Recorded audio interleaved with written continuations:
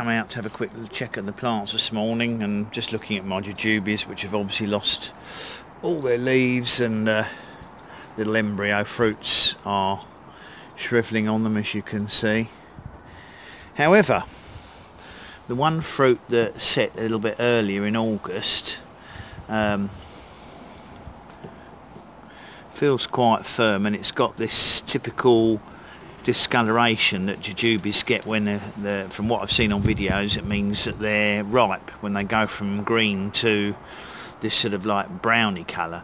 Now this one isn't the correct shade of colour, it's not dark brown and it's not a bright green like apple green colour but this is definitely as close as it's going to get to being edible so I'm going to pick this one and then a little bit later on there's no point leaving it any longer as far as I can see and I don't believe the fruit's going to be edible but I'm still going to pick it anyway if I can. And then we'll uh, we'll cut this in half and have a look at the inside a little bit later and see if it's uh, anything like edible. So that's a jujube and that variety is Lee. That's the first one I've ever had. It, it just set fruit too late this year for them to get to a decent size but I'm hoping as it gets older it will flower earlier and set fruit earlier if we get some decent summers so that's a jujube Lee my one and only and the first one I've ever had that I would say is probably an edible size. So um, in a short while we'll cut it in half and uh, have a look at the inside of the fruit. I'll catch up with you in that section of the video.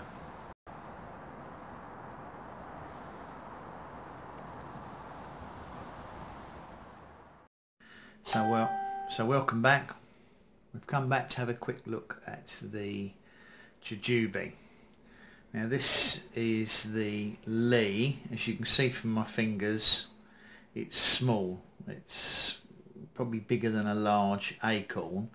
Now if you look at videos of them in there, you know, where they're grown commonly in places like America, they tend to be much more of a vibrant green with these sort of patchy brown patches on. These aren't going bad, this is just naturally as they start to age and get to a drying point, they get these sort of brown patches on and that would normally be a sign they were ripe. Now I've no idea if this is going to be re revoltingly bitter or edible so we're going to cut it apart and have a have a look and see at the inside. Let's just have a quick look see.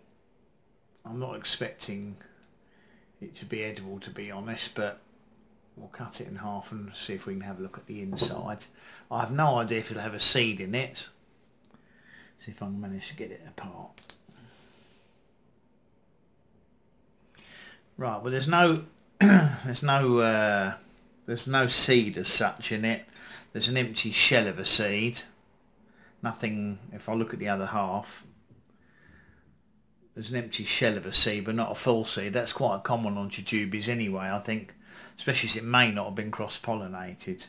I'm just curious to see normally when they're green I think they're sort of crunchy like an apple and got some sweetness in so we'll just see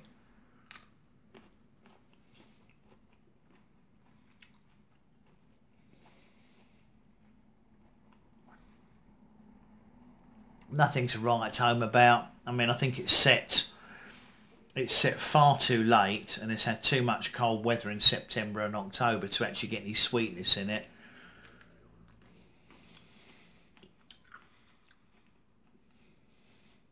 Not very juicy, no real flavour, no real sweetness.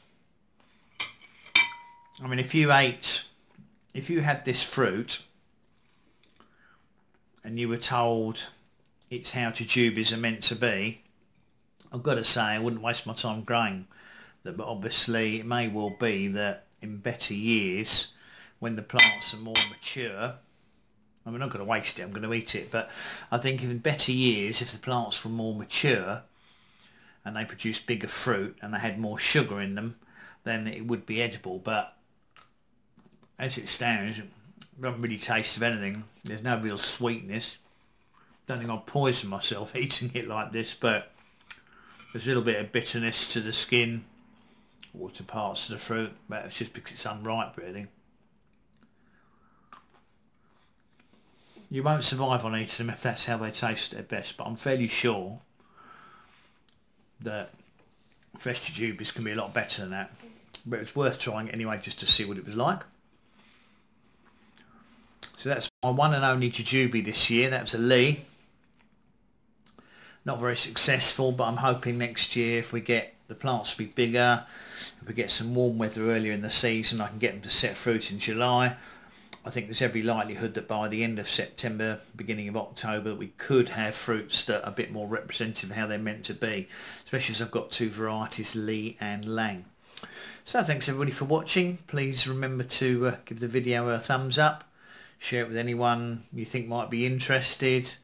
Um, subscribe to my channel if you haven't done so already and obviously if you click the bell you will get updated on new videos as they come out and there might be something of interest to you.